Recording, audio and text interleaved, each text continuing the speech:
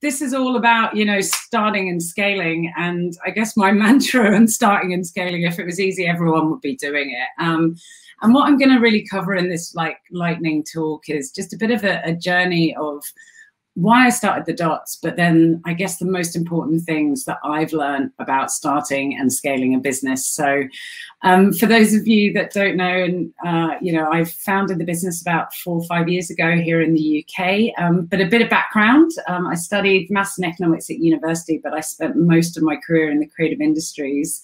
Um, and the, the Dots is actually my second startup. I started my first startup in Australia called The Loop. A um, couple of fun facts. Uh, I'm tuning in from my houseboat Horace, where I actually started the business. Um, and I'm also dyslexic. And the reason I mention this in talks is uh, sometimes I muddle words, so huge apologies. Um, but fun fact for anyone that's dyslexic who's tuning in, 35% of entrepreneurs are dyslexic and 40% of self-made millionaires. So congratulations, it's a superpower.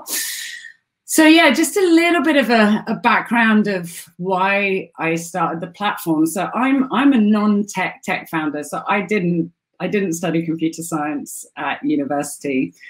I just kind of saw a real world problem and uh, maybe somewhat naively wanted to create a solution. Um, really, what I recognized is, I guess, the world of work has changed forever. Um, you know, flexible working is here to stay. There's the rise of freelance and the gig economy. And I guess, you know, the only real professional network or professional network at scale that existed um, before the dots was LinkedIn, uh, which for me is just built around a very corporate, linear, uh, old way of working. So I wanted to create a different solution.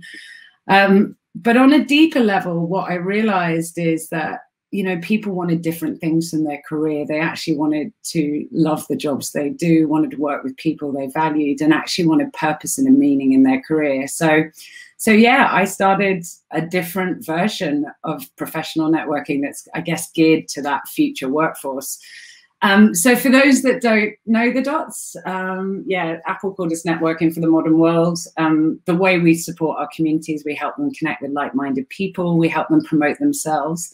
But instead of promoting yourself via a CV, people post projects and then credit the full team around those projects. So for example, a project could be an app and you credit the front-end developer, the back-end developer, the head of growth, etc. Um, but I guess the core values we bring to our community is helping them learn the skills of the future, helping them find flexible work and collaborate. Um, as I said, I started the business here on my houseboat, and uh, we've grown to over 600,000 members now, uh, and we work with around 10,000 companies that use us to hire talent. Um, but I guess at the heart of everything I've created is trying to create an antithesis to the existing social media sites that exist today um, you know, I, I, I hate how you know Facebook, Twitter have become just places of fake news and negativity. So big differences between us is our algorithm is actually based on positivity. So the kinder you are on the dots, the higher you come up in search results. Um, and we also do a lot of work around diversity. So I love men, by the way, uh, but 68% of our community are female, uh, 31% BAME, 16% LGBT, and we do a lot of work around neurodiversity and socioeconomic movement as well. Um, but it's not been an easy journey um, for me. You know, I've had to literally learn everything from scratch. You know, I as I said, I don't have a computer science degree. And I think this is a good summary of like the journey I've been through from starting and scaling a business. So this is my happy, sad graph. Um, everything at the top is when I'm on cloud nine. Oh my gosh, this is the best thing I've ever done. Um, we're going to take over the world and we're going to be the next LinkedIn. Um, everything on the bottom is, oh my gosh, what have I done? I am so out of my depth. I'm crying on my husband's shoulder. Um, interestingly from an outside perspective um, you know it's it looks like it's been a really easy journey for us. You know we got product market fit quite early on. Um, we've got a working business model. Uh, we've you know over 600000 members. Um, so you know from an outsider's perspective it looks like it's a, a lovely happy journey. Um, the reality of what i've been through and every startup has been through, whether they admit it or not, is actually this. Um, so this is my insane roller coaster ride. I mean, I have never been so happy in my entire life, and I have never been so out of my depth on my entire life. Now, I won't go through all the highs and lows, but I guess a key takeout for me with all of this has been, you know, perseverance has been key to this journey. Um, and as I mentioned, uh, this is my second business. Um, I started my first startup in Australia. So you see that really low area, the split area. Um, I had, I had, I went through probably one of the, the hardest thing a founder could ever go through as I had a split with my first co-founder in Australia and had to start again from scratch over here. So I've gone from startup to scale up, back to startup to scale up again. Um, and it's been one hell of a journey and I've learned so much along the way. Um, so yeah, as I just said, I started the dots here on Horace, my houseboat, and here are my kind of core or lightning speed um, learnings. Um, the first, I guess, and most important thing is anyone who scales a business goes through really tough, tough times. And the key to weathering those tough times is being persevering through those tough times. Uh, you have to find deep wells of resilience to get through um, starting and scaling a business. Um, and I guess the way I've found deep wells of resilience is I've managed to combine what they call it's a Japanese philosophy. It's like itiagi, ikiagi. Sorry, that's my dyslexia. I have no idea how to pronounce it. Um, but what I've been lucky to combine is doing what I truly love doing um, with what I'm good at, um, with what I get paid for, because we all need to eat. But most importantly, what the world needs and the purpose and the mission behind the dots, helping democratize talent, helping companies connect with diverse talent and also building a positive and inclusive social network is what drives me every day. And it means that when the hard times come, that purpose has pushed me through to get through those hard times and not give up. And I would highly recommend if you can build social purpose into your business, it makes those hard times so much better. Um, I guess the other thing that I've learned is you know, tech is fundamentally important when you're scaling a tech business, and so is the product. But it's the people and the communities we serve that are the most important thing. As founders, we need to obsess about them more than anything else, and then ensure we're building a product and the tech solutions that are around real world problems. And as I said, social problems are the ones that we all have a responsibility, especially in this day and age, to help solve. Another fundamental learning, and I mentor quite a few founders. Um, I find that when people start businesses, um, they jump straight to marketing before product market fit.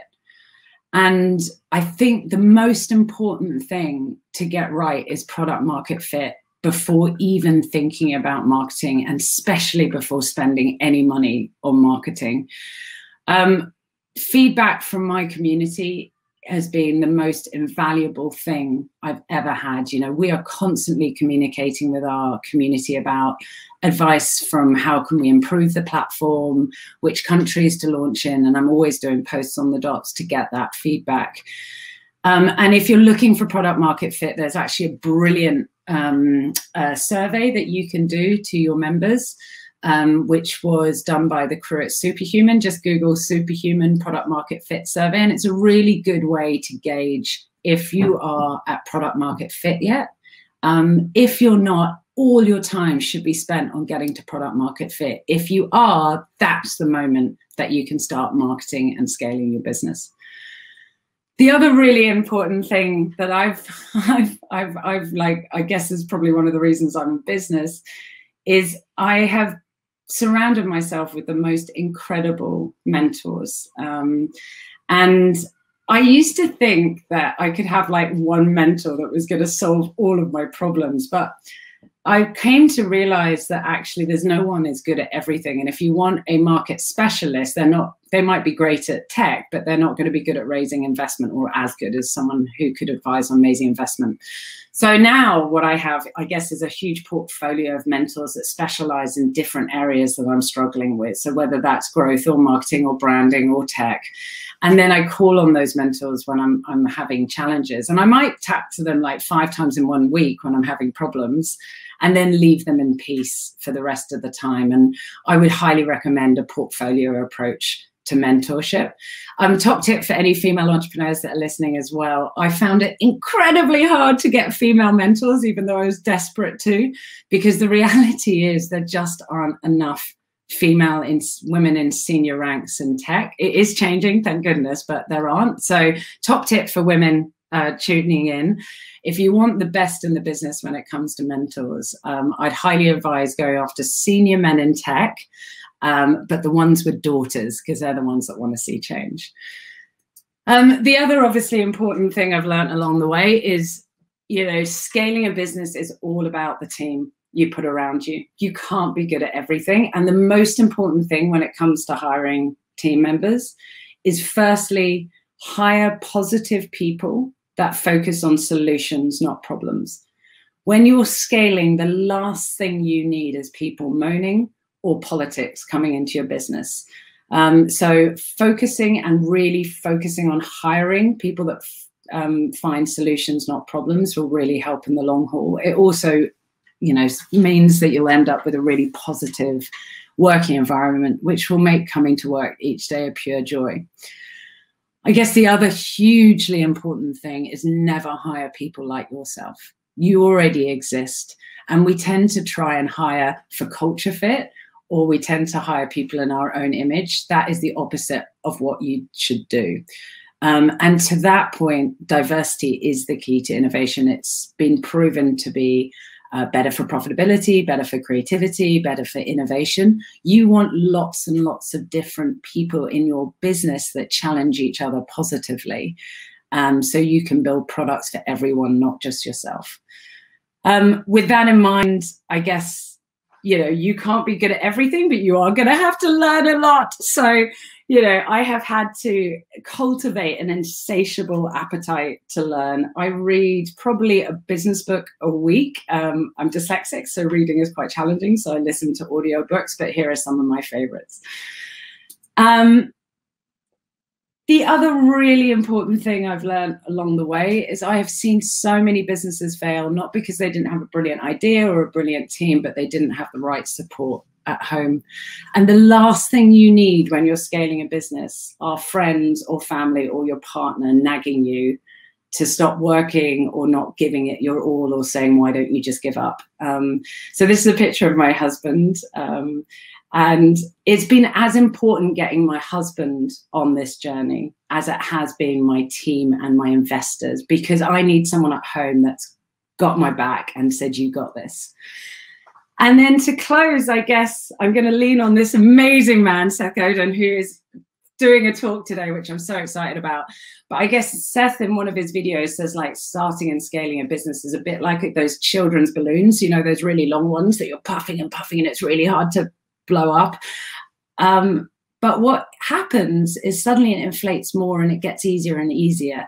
And that's what I've learned along the way. It is bloody hard, but the more you learn, the more you surround yourself with brilliant people, the easier it is along the way. Um, so that's me. Thank you. Thank you so much for that, Pip. Uh, yeah, there's tons of stuff for people to take away there. I love how open and honest you are about uh, the, the the progress you guys have made, the challenges which you faced, and I love that roller coaster that you showed. The, the, reality for anyone in any kind of walk of life or business, I think. Um, so, Pip, just before you go, I have to press you for the 15 second summary. If you could summarize the key takeaway from your talk today in 15 seconds, uh, what would it be? I, I would say if you can create businesses with social purpose because that will help you through the hard times. And team is everything and diversity matters